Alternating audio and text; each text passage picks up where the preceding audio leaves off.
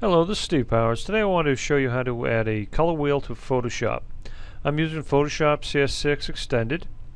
First off, let's open up a uh, image. Excuse me. Control N. We'll just open up a 6x6, 72. And um, normally uh, if we hit F6, by the way, we can um, open up our uh, usual color picker and you can see that down there.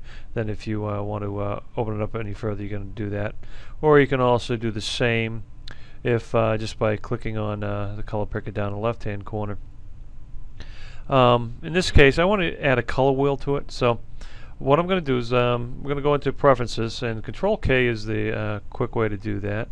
Remember shortcuts are very important in Photoshop to um, aid in productivity.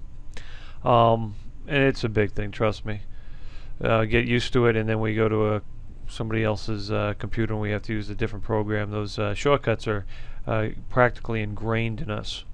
Um, but here in uh, the color picker, you see we have um, the hue color picker, the the hue wheel or the strip. Um, I'll demonstrate the strip for you. It's um, if you hit Alt Shift, as long as you have the brushes installed here. Alt Shift and then right click you can see that it brings it up and you can change your color.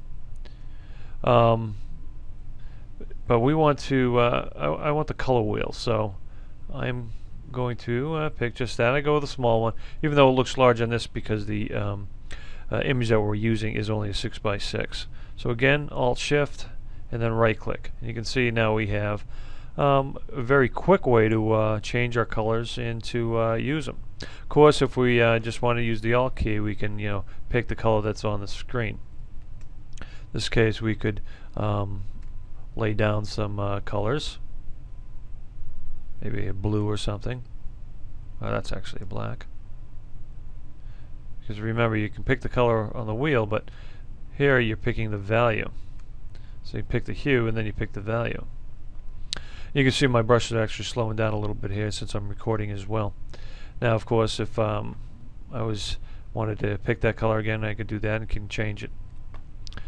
Uh, so anyways um, that is the uh, quickest way to um, uh, change your colors on the fly. Uh, hopefully that helps.